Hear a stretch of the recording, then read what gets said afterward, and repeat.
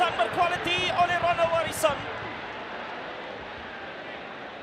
Hendrik Dos Santos juga menunjukkan kualitinya.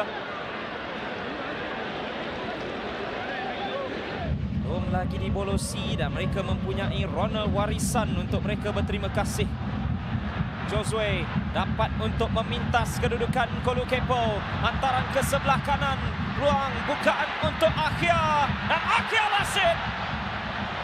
Itu peluang keemasan. Beliau mengacah dan melepasi ke semua pemain pertahanan. Namun sayangnya ke sisi jaring.